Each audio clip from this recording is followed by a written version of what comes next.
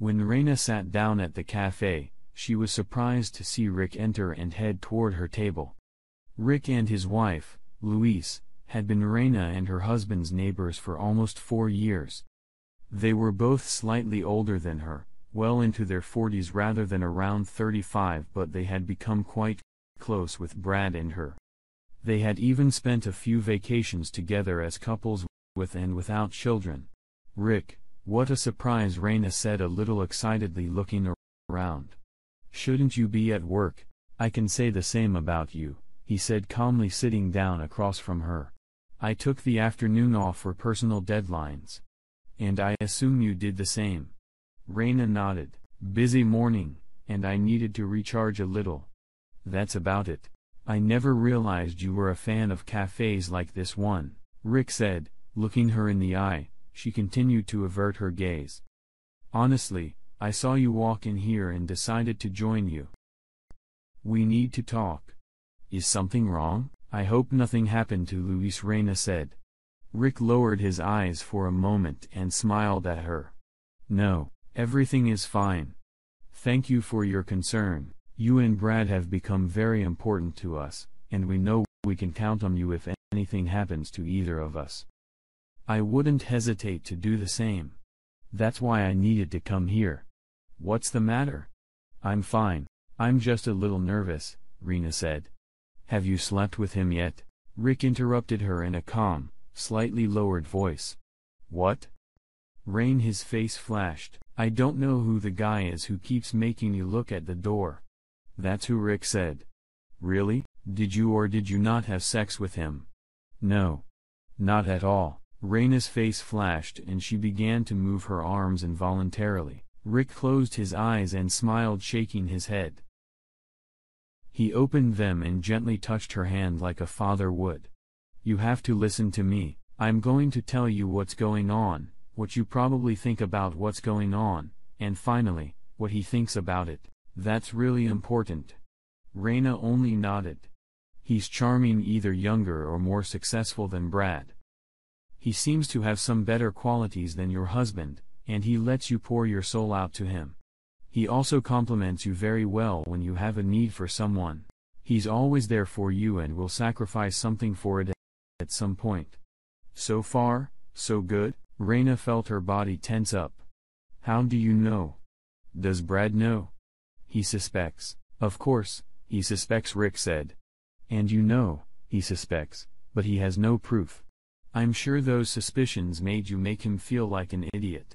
How do I know? Here's what happened. Two important events happened in the last two weeks and you missed them both for the same reason. Something happened to Mr. Charming, and he needed you as a friend. And because you felt obligated to him, you missed both your son's birthday and your ninth anniversary dinner to be with him. Nothing happened. We're just friends, and he's the kind of friend that you keep from your husband because he wouldn't understand. This friend wants to know everything about your husband, so you told him even intimate details that you probably wouldn't share with me.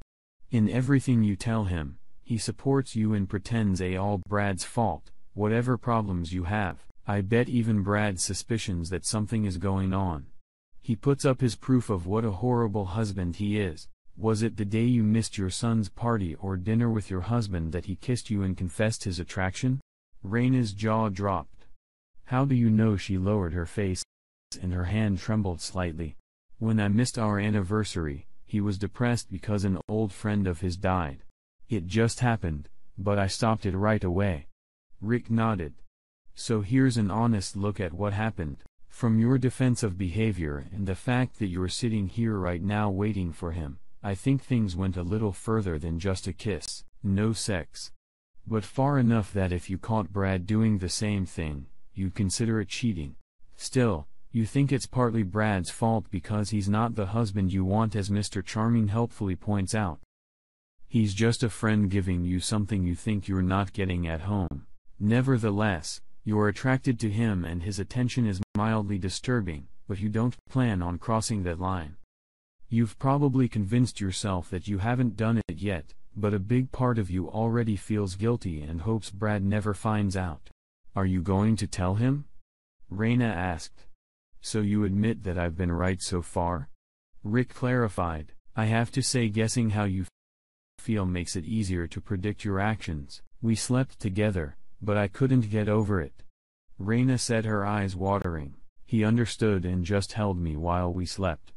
We did some things but stayed in our clothes mostly, Brad acting so stupid, and I was angry and drunk. And with that, you pretty much proved him right, Rick said. No, I'm not going to tell Brad any of this, but he'll figure it out for himself. Okay, now here's what he thinks is going on. Mr. Charming sees an attractive woman who's busy. He sees vulnerabilities that he can use to manipulate her. Raina flinched, but Rick stopped her with a calm hand gesture. Mr. Charming knows this as he has experienced in this matter. Pardon the bad cliche, but this isn't his first rodeo. See, you're assuming that you're the one he's targeting. You're not stupid enough not to realize that he wants to sleep with you. Since you started dating him behind your husband's back, the allure makes you think it's all about something special between the two of you and provides what your husband is missing. I and Charming tried like hell to point out everything your husband is missing. That's because it's not about you. It's about Brad. Charming gets a thrill knowing he's taking something away from Brad. That's why he convinced you to skip two very important events to show that he means more to you than Brad. It was no coincidence that the death of a friend and whatever other crisis it was happened just as you missed both events. Brad's birthday is in three weeks and something is bound to happen that you change all your plans because it has to do with Brad. He won't do that. Rick raised an eyebrow. You were in the arms of Mr. Charming while your husband waited at the restaurant for an hour before you finally texted him that you weren't coming, that you stayed late for a friend at work who got food poisoning. You weren't even creative enough give me a name. Probably so Brad couldn't check, and now you're waiting for Mr. Charming skipping work. You've revealed here, current priorities, and they certainly aren't your marriage, he wants me, Raina? Said that's all. He doesn't want Brad to know as much as I do, he doesn't even know my husband. No. Charm knows a lot about him because he's been asking you about every detail. He knows Brad through you, Mr. Charming knows damn well that Brad has every right to be suspicious, and he also knows that he can convince you that it's an overreaction. He needs that suspicion that growing wedge between the two of you, otherwise, there's no chance of closing the deal. Because and listen carefully, I said this is about Brad, not you. Mr. Charm thinks he's going to get everything he can from you. And then once he realizes he's completely stolen you from Brad and you belong to him, he'll reveal his end game. We'll make sure your loving husband finds out and then he'll probably still continue the physical relationship for a while at least until he finds his next trophy. How do you know that? What and? Louise Rick smiled. My wife and I are in a faithful marriage for many years, but I haven't always been married. You have too. Choices continue this affair in you. No. It isn't a fair and try to prove me wrong that it won't end in sex or that everything will remain a secret because Mr. Charming isn't the man I made him out to be or get it over with and hope to save my marriage. Once Charming gets everything he wants to get, he'll make sure Brad finds out maybe even lie about you guys going farther than you really did Raina cried, please, I can't. Brad can't find out. Rick walked over to her, hugged her soothingly and whispered in her ear then don't do anything. Don't even peck anyone on the cheek without your husband knowing, otherwise, I'm damned. Sure. He'll find out. Raina is that man upsetting you? Came a voice from behind them.